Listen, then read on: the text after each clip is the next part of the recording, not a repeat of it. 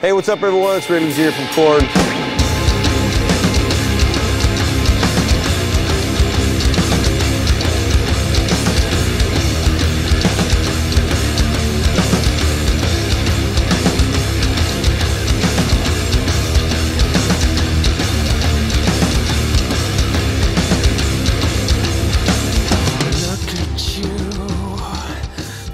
Basically on this Jägermeister tour, I'm using the Pearl reference kit.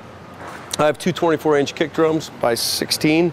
I have 12 rack, 13 rack, 16 floor, 18 floor. I got a 14 by 14 up here for extra special effects, extra booms and pops and whatnot. Um, I have a 7 by 14 snare, bronze snare I'm using right now, and a little guy over here, 12 inch, up to the left for little effects and things like that.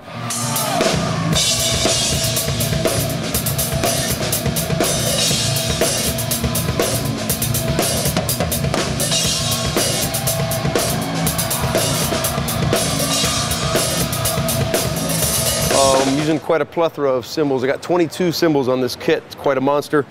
Um, everything from, got these little effects down here, from 14 to 12 to 10 inch little stacks. I kind of made them up myself from Bosio tops of China's to bottoms of hi-hats.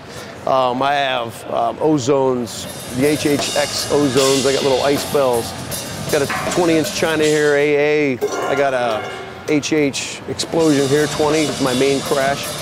And uh, 19s up top here, 19 AAX explosions, 18 inch explosion right here.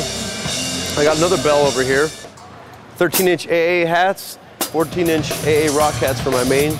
I always have a 10 inch splash right here, and I've always had a 21 inch AA rock ride. I've used this rock ride for probably since 1994. Not the same one, but the same model. I love it. Love the sound of it, good wash. Got a Glennie's Garbage right here. Got an 18 inch Ozone APX right here, I love. Um, another 20 inch China over here. 14 inch little guy China up here. Um, I always have, everyone always asks me, why do you have this big China up here? I just love it. I love hitting both hands. I try to play ambidextrous, so I hit this China up here all the time. I've always had it. And if you can see, that we designed the cage around this China. So it actually started with this, and then it went around from there. So this what this monstrosity is all about. And last but not least, I got these really crazy spiral cymbals on the side. I just added these for Mayhem Tour. They make really crazy kind of noises. And they just look freaky and are weird, and I'm kind of weird, so they fit my personality pretty much.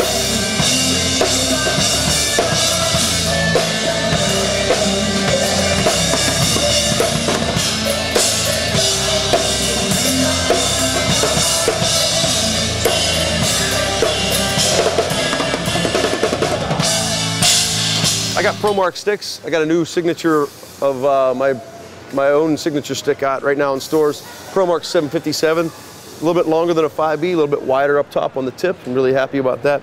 Um, DW 9000 bass drum pedals. I've always loved the nines. I have all DW hardware and always Remo heads. I've always had Remo. I've never used another head in my entire life but a Remo. I love them all. I'm using clear emperors on the skins and I'm using Emperor X's on the snare head.